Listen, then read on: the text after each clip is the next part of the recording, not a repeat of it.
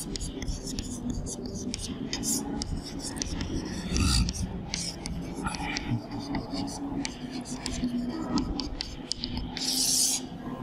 Topic है औसत चाल या माध्य चाल।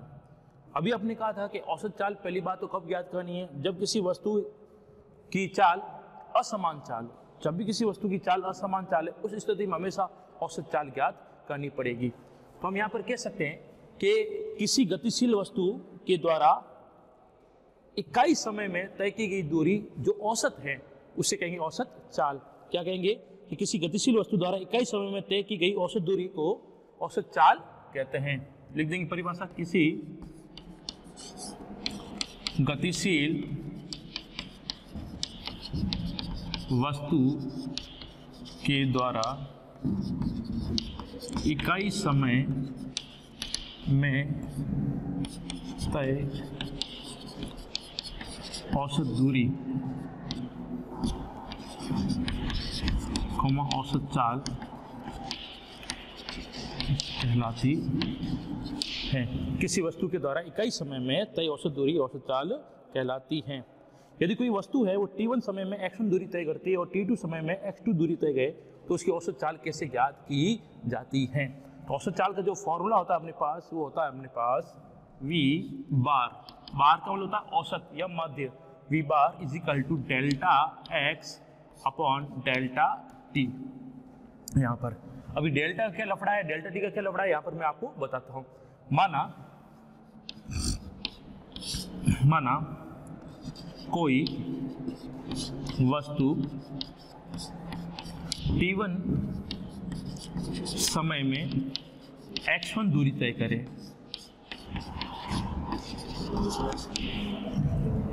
सेकंड कोई वस्तु t2 समय में x2 दूरी तय करे। तो उनकी औसत चाल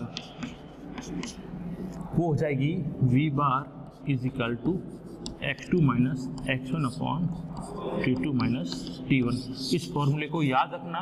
बहुत बार औसत चाल पूछी जाती है और औसत चाल पूछने पर हम कैसे ज्ञात करेंगे? ये हमारे सामने एक व्यवस्था है। ठीक है? अब ये तो सिंपल अपने पास डाटा दिया होगा। उस डाटा की सहायता से हमें औसत चाल ज्ञात करनी है तो ये हमारे पास स्थिति है। लेकिन यदि आपके सामने कोई ग्राफ दिया हुआ है लेखा चित्र दिया हुआ है, उस लेखा चित्र की सहायता से आप औसत चाल कैसे ज्ञात करोगे, हम वो भी यहाँ पर देखेंगे।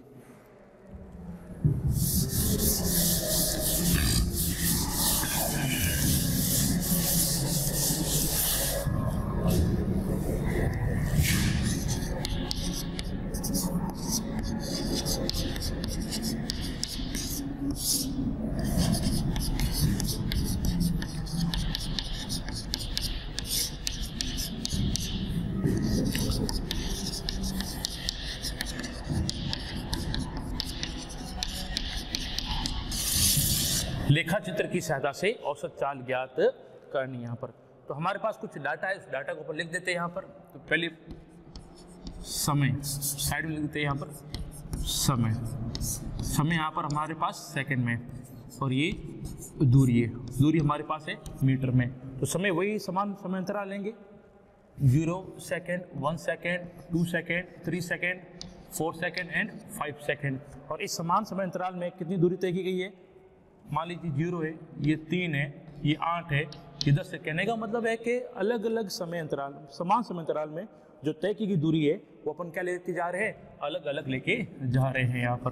कोई भी अपनी इच्छा से अनुसार आप बना सकते हो, या जो अपने को दिया हुआ है, वो अपन बना सकते हैं। ठीक है? अब आपको कहा जाए कि ज़ीरो से दो सेकंड के मध्य, क्या? ज़ीरो से दो सेकंड के मध्य औसत चाल कितनी है, वो ज्ञात करो।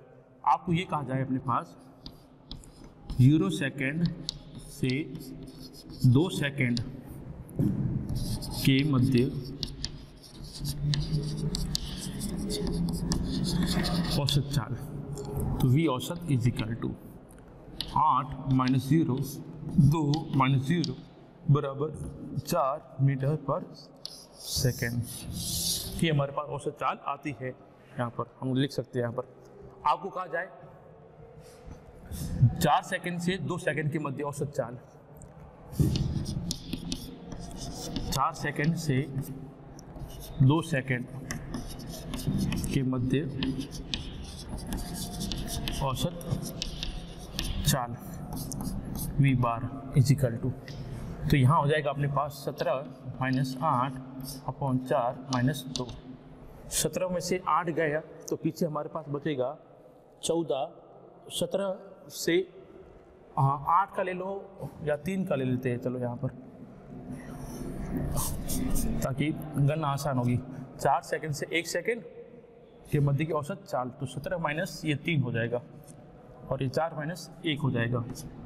सत्रह में से तीन गया। तो सत्रह में से तीन जाने पर हमारे पास बचेगा चौदह और चौदह बटा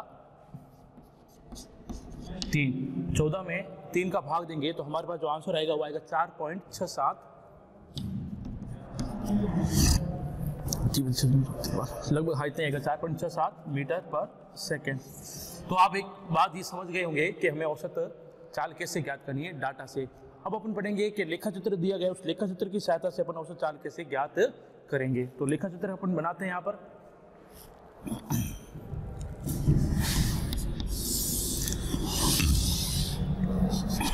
यहाँ पर आपको लेना है समय जो कि सेकंड में है। यहाँ पर आपको लेनी है दूरी, जो कि मीटर में है। यहाँ पर, ठीक है। समय अपने पास एक्स एक्स पे लेना है, ज़ीरो। एक, दो, तीन, चार और पाँच। और दूरी अपने लेनी है यहाँ पर। तो दूरी अपन ले लेंगे यहाँ से, कुछ भी ले लेंगे। अपने पास यहाँ से। ये, ठीक है? अब मान लीजिए अपने पास एक समय है, ये है टी वन जो कि कितना दिया हुआ है? टू सेकंड दिया हुआ है। या अपन कॉमन ग्राफ बनाए। तो भी चल जाएगा, कोई दिक्कत वाली बात नहीं है कि अपने पास डाटा ही नहीं अपने पास। डाटा कुछ भी हो सकता है, अपन कॉमन ग्राफ बनाते हैं यहाँ पर। समय, जो कि सेकंड है। ये आप ले लो। टी वन ये t two t three t four या टी फाइव और यहाँ पर अपने पास एक्स वन ये x two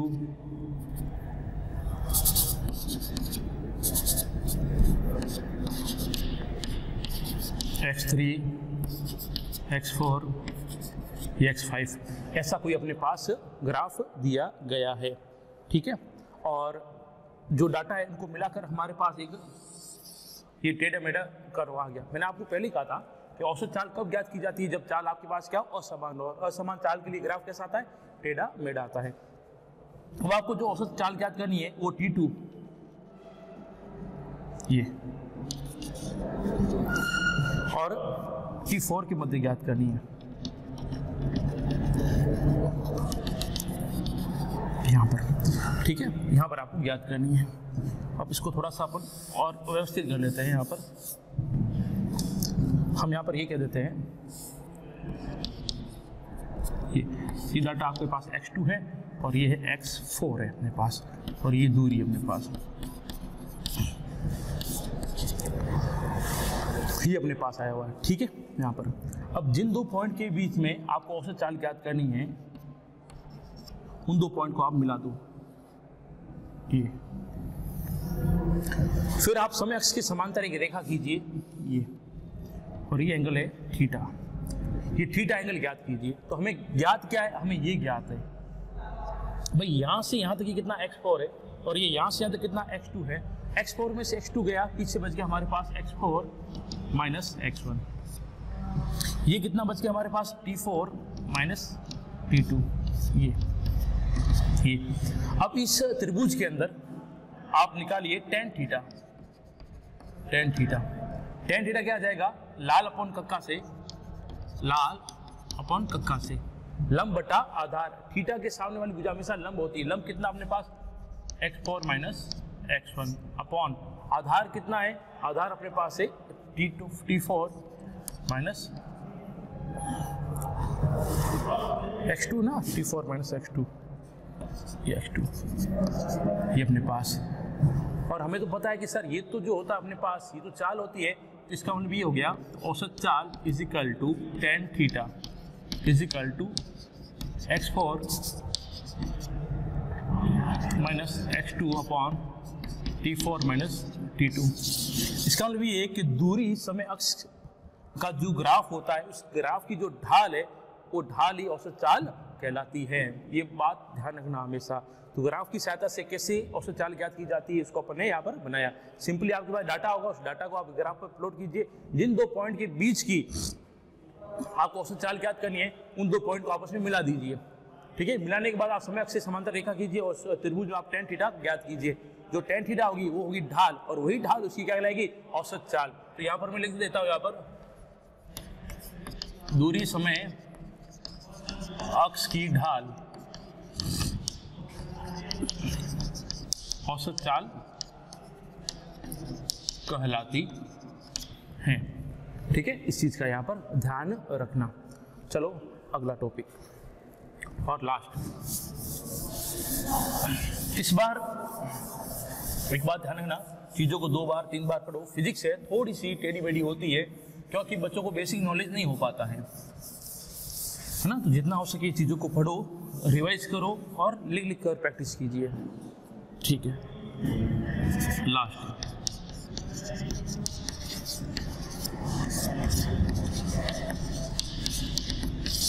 लास्ट टॉपिक अपने पास है, ताक्षणिक चाल।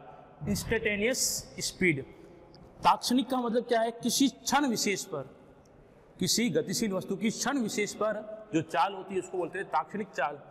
जैसे आप गाड़ी लेके जा रहे हो और आपके दिमाग में अचानक आए कि पाँचवें सेकंड पर वस्तु की चाल क्या है, दसवें सेकंड पर वस्तु की चाल क्या है, या बारहवें सेकंड पर वस्तु की चाल क्या है। हम ये नहीं पता कर रहे कि ज़ीरो से लेकर चार सेकंड के बीच में या ज़ीरो से लेकर पाँच सेकंड के बीच में वस्तु की चाल क्या नहीं, हम तो एक पर्टिकुलर टाइम की बात करें पर्टिकुलर इंस्टेंट की बात करें कि उस पर्टिकुलर टाइम पर, उस पर्टिकुलर इंस्टेंट पर उसकी चाल क्या होगी, वही हमारे पास है ताक्षणिक चाल।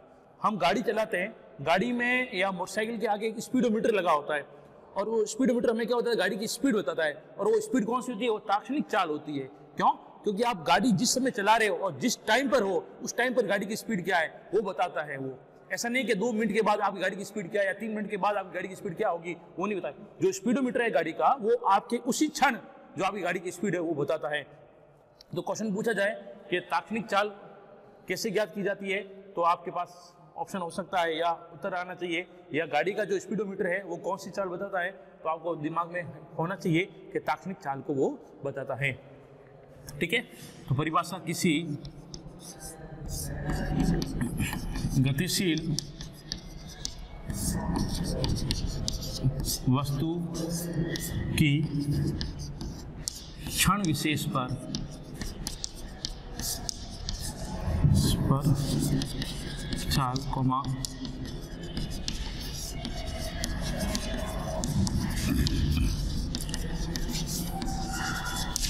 किसी गतिशील वस्तु की क्षण विशेष पर चाल ताक्षणिक चाल कहलाती है। और इसका जो फॉर्मूला होता है वी ताक्षणिक बराबर d x by d t मतलब आपके पास जो विस्थापन, जब आपके पास जो किसी वस्तु की पोजीशन है, उसका टी के रिस्पेक्ट में अवगुणन कीजिए d x by d t तो ये किसी वस्तु की ताक्षणिक चाल होती है।